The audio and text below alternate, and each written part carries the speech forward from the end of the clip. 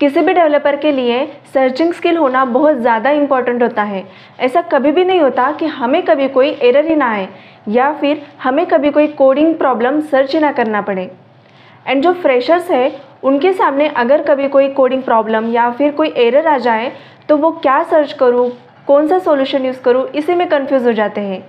तो इसलिए फ्रेशर्स को सर्चिंग स्किल इम्प्रूव करना और भी ज़्यादा इंपॉर्टेंट हो जाता है।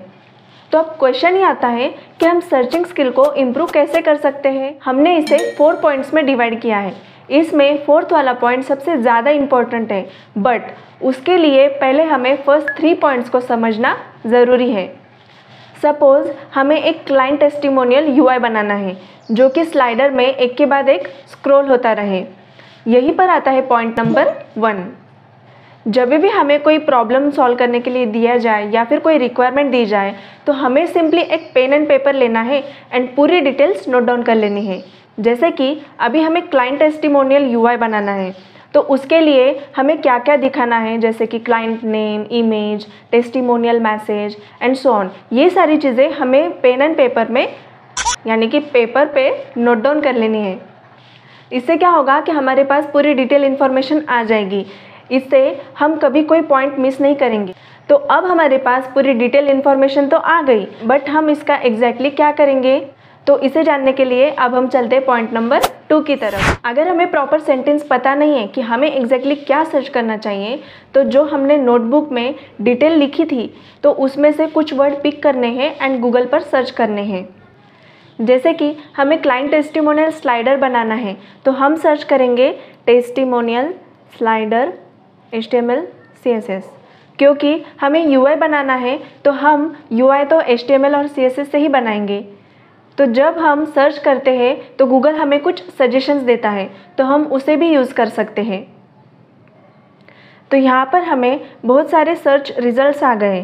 तो हम उनमें से 15 plus awesome C S S testimonial slider वाली जो वेबसाइट है, इस पर अगर हम जाएँगे तो यहाँ पर आप देख सकते हो, यहाँ पर डिफरेंट डिफरेंट टाइप्स के स्लाइडर इन्होंने दिए हैं एंड सभी के नीचे डेमो एंड कोड ये दो ऑप्शंस हैं। तो यहाँ पर अगर हम डेमो पर क्लिक करेंगे तो ये स्लाइडर हमें कैसे दिखाई देगा ये समझ आता है एंड फिर हम उसे यूज़ कर सकते हैं। तो ऐसे ही यहाँ पर डिफरेंट डिफरेंट टाइप्स के स्लाइडर है तो जो हमें पसंद आ रहा है अच्छा लग रहा है, उसे हम यूज़ कर सकते हैं। ज़रूरी नहीं है कि हमें सभी वेबसाइट्स में यही पैटर्न दिखाई देंगे कुछ वेबसाइट में एक ही एग्ज़ाम्पल को उन्होंने एक्सप्लेन किया होगा। तो ये सारी चीज़ें हमें ध्यान में रखनी है। तो अब हमें कोई प्रॉब्लम सॉल्विंग या फिर कोई रिक्वायरमेंट दी जाए तो उसे कैसे सर्च करना है, ये तो समझ आ गया। बट अगर हमें कोई एरर आए तो?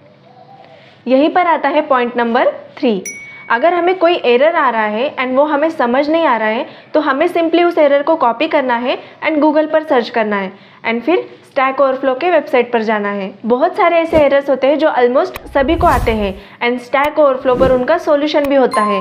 स्टैक ओवरफ्लो ये एक ऐसा प्लेटफॉर्म है जहाँ पर कोडिंग रिलेटेड सारे क्वेश्चन एंड आंसर्स होते हैं।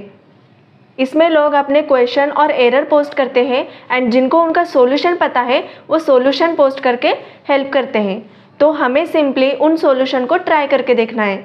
जैसे कि अभी हमने यहाँ पर गूगल पर सर्च किया है एक एरर रिलेटेड एरर और वहाँ से हम स्टैक ओवरफ्लो पर आए हैं।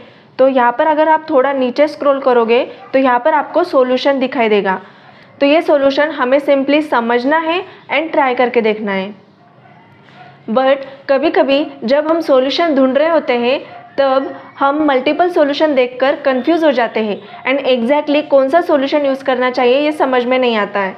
तो सिंपली हमें जो समझ आ रहा है, वो सॉल्यूशन को यूज़ करके देखना है। जैसे कि यहाँ पर इन्होंने भी दो डिफरेंट डिफरेंट तरीक़ों से एक ही प्रॉब्लम को सॉल्व किया है। तो जो हमें समझ आ रहा है, वही सॉल्यूशन यूज़ करके देखना है। तो ये सारी चीज़ें तो हमें समझ आ गई। बट क्या इससे हमारी सर्चिंग स्किल इम्प्रूव होगी? तो इसके लिए हमें पॉइंट नंबर फोर को समझना पड़ेगा। एक्चुअली ये सारी चीज़ें प्रैक्टिस एंड टाइम के साथ इम्प्रूव होती हैं। तो इसलिए हमें कंफ्यूज नहीं होना है एंड सोचते नहीं बैठना है कि हम एग्जैक्टली exactly क्या सर्च करें, कौन सा सॉल्यूशन यूज़ करें। बस ये तीनों पॉइंट्स को अच्छे से समझना है एंड इम्प्लीमेंट करना है। एक चीज़ बहुत इंपॉर्टेंट है जो हमें हमेशा ध्यान में रखनी चाहिए। अगर आप खुद से जितना ज़्यादा सर्च करोगे, उतना ज़्यादा आपकी सर्चिंग स्किल इम्प्रूव होती जाएगी। तो keep searching and keep learning